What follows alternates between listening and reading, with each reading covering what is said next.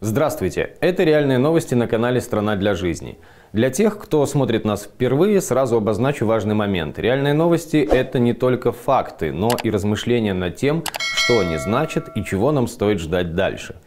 Мнения и размышления субъективные, вы вправе не согласиться, но рекомендуем досмотреть до конца, а после делать собственные выводы. По-прежнему будем рады лайкам, репостам и вашим размышлениям в комментариях. События развиваются так стремительно, что невозможно уделить внимание всему произошедшему. Этот выпуск хотелось начать с того, как прошел День воли 25 марта. Но 27 марта случилось интервью Владимира Зеленского российским СМИ – Тут стоит уточнить, что интервью независимым российским СМИ, иноагентам и прочим, по мнению Кремля, нежелательным к просмотру YouTube-каналам. Интервью это могло остаться незамеченным, если бы Роскомнадзор не поспешил его запретить к просмотру. А все, что запрещает власть держащая, автоматически становится рекомендованным к просмотру. В белорусском медийном пространстве это интервью вызвало бурю возмущения. А все потому, что, отвечая на вопрос про Лукашенко, Владимир Зеленский сказал – если мы можем закончить войну, а Александр Григорьевич будет снова чувствовать, что он в доме хозяин, мне все равно. Да ради бога, это вообще выбор белорусов, а не наш. Мне непонятно возмущение среди демократического сообщества. Ведь, по сути, это заявление не расходится с риторикой и действиями Украины в последние несколько лет. Бывший премьер Украины Яценюк в интервью несколько недель назад на вопрос – Почему лидеры Украины не встречаются с Тихановской, ответил примерно следующее. Украина готова разговаривать с законно избранным президентом Беларуси. Мы видели, как Украина готова была еще и торговать с Беларусью и помогать обходить санкции белорусским производством, в том числе Белкалию, разгружая вагоны в Николаеве. И я могу ошибаться, даже до сих пор Учитывая соучастие Беларуси в войне на стороне агрессора, не слышно и не видно каких-либо санкций со стороны Украины. Логика, полагаю, такая. Все на благо наций. И если надо будет торговаться и договариваться с самим дьяволом, значит будем. Обвинять ли Украину, решайте сами. Но действия правительства понятны, во всяком случае объяснимы.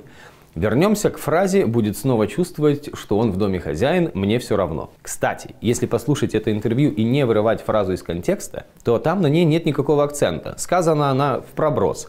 Но если вам, дорогой зритель, хочется немного конспирологии и чтения между строк, то давайте попробуем подумать, что бы это все могло значить. На поверхности, как и говорил ранее, национальные интересы Украины. Если нужно остановить безумие войны с сотнями тысяч жертв, то можно договориться и с чертом. Возможно, вслух было произнесено то, о чем ведутся кулуарные переговоры с Лукашенко, чтобы остановить ввод белорусских военных на территорию Украины. Возможно, не только украинская сторона ведет торг с Лукашенко в подобном ключе. Не зря ведь Макрон так часто звонил Лукашенко. Возможно, это посыл Путину. Твой друг Лукашенко не такой уж тебе и друг. Он и с нами дружит, поэтому не жди большей помощи от него, чем она есть. Это еще и посыл россиянам. У вас нет союзников, даже Лукашенко вам не союзник. Мы готовы с ним работать дальше, создавая хоть какую-то видимость его легитимности, в первую очередь для него самого, конечно. А взамен он будет придумывать отговорки, чтобы не вводить войска, свои войска. А потом еще, чтобы спасти свою шкуру, заявит, что он сам лично со своими красавцами сжег электрошкафы вдоль железных дорог, чтобы замедлить железнодорожное сообщение. В этих словах Зеленского есть и конкретный посыл белорусам. Это ваше внутреннее дело. Разбирайтесь сами. Не надо ни на кого надеяться. Действительно ли не надо, об этом поговорим дальше. Для тех, кто пришел сюда узнать новости и порадоваться успехом по свержению диктатуры, сообщаем. Софию Сапегу, гражданку России, судят в закрытом режиме. И это не только про сам суд, но и про политическую реальность в Беларуси в целом. При поставках белорусского мяса в Китай возникли трудности. Поставляли через Одессу, теперь планируют поставлять через Владивосток. С поставками пушечного мяса из России в Украину через Беларусь проблем не возникает. Гражданин США, который в январе 2021 года участвовал в штурме Капитолия, получил убежище в Беларуси. Это первый случай в истории, когда несогласный с политикой Белого дома прячется у Золотого дворца.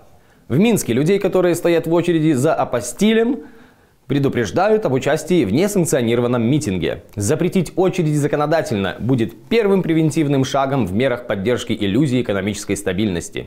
В Витебске задержана женщина за комментарий «дебил, блядь» под видео с высказыванием Лукашенко.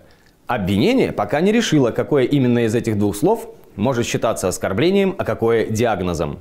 В Минске на День воли задержали 12 человек за то, что они сидели на скамейке. Ведь по 12 человек можно сидеть только в камере, а скамья она только для подсудимых. Социальное государство. Австралия ввела санкции против Лукашенко, его сына Виктора и официальной жены Галины. Больше всех удивлена Галина и переживает, как вывести из-под санкций дом под Шкловом, грядки и мотоцикл Минск. А сам Лукашенко узнал, что существует такая страна – Австралия.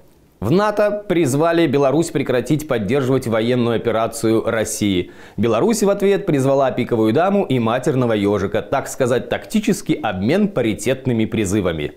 Всемирная торговая организация останавливает рассмотрение заявки Беларуси на ее вступление.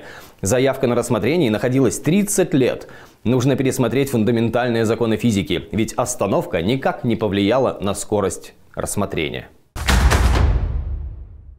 Вернемся к теме, на кого нам, белорусам, надеяться. На шахматную доску к демсилам, диаспоре, Европе и США, партизанам внутри страны и черным лебедям добавилась новая фигура. Белорусы, воюющие за Украину. Например, белорусский батальон имени Костуся Калиновского. По порядку и коротко. Демсилы продолжают свою работу, которая сейчас сконцентрирована на новых бедах и проблемах.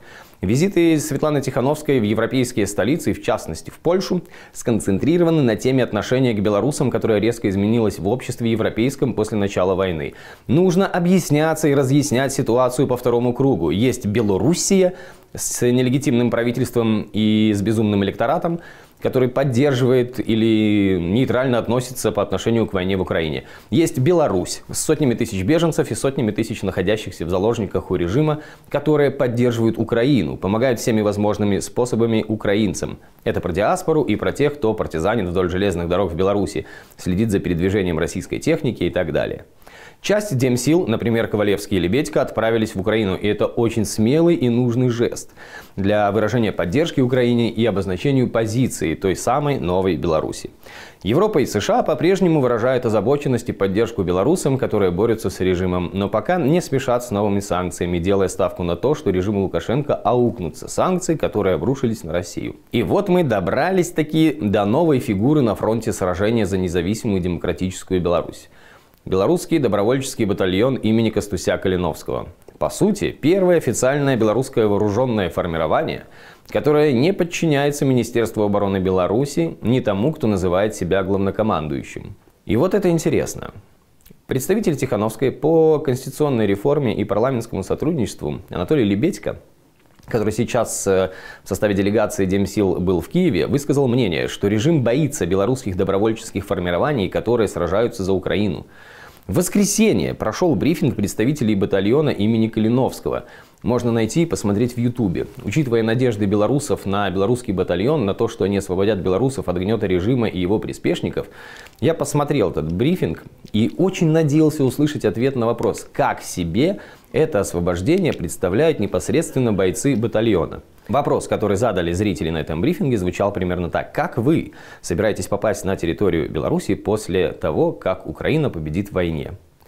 Дырявые границы Беларуси и некомпетентность белорусских пограничников, которые не видели тысячи мигрантов, потом не видели сотни тысяч российских вояк.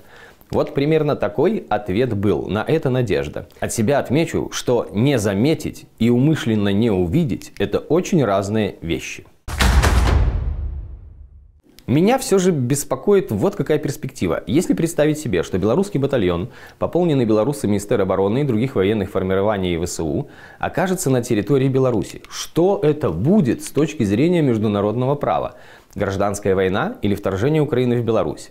В первом случае Белорусская народная освободительная армия, вот, кстати, название подсказал, будет штурмовать дворец Лукашенко, вступая в бои с его силовиками, в том числе и с белорусской армией, если вдруг командиры последние опять сделают ставку на статус-кво и на своего хозяина. Если не сделают и присоединятся к Народной освободительной армии, то это получается военный переворот, и власть окажется в руках военных. Готовы ли они будут передать ее представителям демократических сил или сами организуют свободные открытые демократические выборы? Вопрос. И все это при условии, что российские войска не помогут в очередной раз удержать власть Лукашенко. Или чего хуже, не вздумает потом на оккупированной территории провести референдум о вхождении в состав Российской Федерации. Но дело еще вот в чем. Насколько я понял из сообщений в СМИ, белорусский батальон вошел в состав ВСУ. А это значит, что наши добровольцы принесли присягу на верность Украине. Это хорошо и правильно. Но что с этим делать дальше, после победы, до которой еще далеко, откровенно говоря? Получается, что если белорусы, принесшие присягу и подчиняющиеся командованию вооруженных сил Украины, войдут на территорию э, Беларуси с самой благородной миссией, ну, освобождение от гнета Лукашенко – то по факту это получается вторжение украинских вооруженных сил на территорию Беларуси. А значит война. Позволит ли себе такую роскошь Украина? Вопрос. Ответ на который, кстати, можно предположить из вышесказанного в этом выпуске реальных новостей. Предполагаю, что у многих из вас пронесется мысль, зачем нам думать о будущем, когда еще идет война, и надо думать здесь и сейчас, и как победить, и как нам, белорусам, победить внутри страны здесь и сейчас. И вы будете правы, но не думать о перспективах и не просчитывать варианты событий будет нам в очередной раз очень дорого стоить. Здесь и сейчас Беларусь захвачена Лукашенко и его приближенными, и в довесок оккупирована войсками восточного соседа. Вот так положение. И единственной светлой перспективой для белорусов пока кажется лишь победа Украины в войне. Как она может выглядеть, эта победа? По словам Зеленского, переговоры и возвращение на те позиции, которые были до 24 февраля. А после уже разговаривать дальше. Вот только вряд ли, очень вряд ли на это согласится Путин.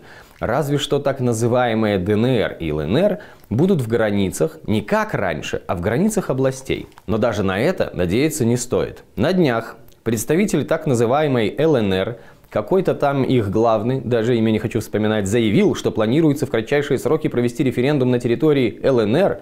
Напомню, что они сами себя признают в границах области Луганской. Так вот, референдум этот о вхождении в состав Российской Федерации. И, конечно, это будет незаконный и нелегитимный, бла-бла-бла-бла, никем не признанный референдум. Ну, собственно, разве нелегитимность волнует кого-то, кроме России? И вот якобы проходит референдум. И тут же Совет Федерации и прочие недоорганы ратифицируют все и быстро. И вдруг оказывается, что Россия приросла территориями, на которых идут военные действия. И все то, что было войной в Украине, или как они там по-прежнему пытаются повторять, что это спецоперация какая-то, вдруг все это стало войной в России, на территории России. И вот вам военное положение, всеобщая мобилизация и продолжение безумства. Много еще хочется сказать, обсудить и предложить к размышлению. Но на сегодня все. Как говорила моя прабабушка, что занадто, то не здорово. А подумать, кажется, есть над чем. И, возвращаясь к началу, с пройшоўшым днем воли сябры. День был, воли няма, а значит, ёсць да чаго імкнуцца. Жыве Беларусь і жыць ёй да той пары, пакуль жывыя мы. Да пабачэння.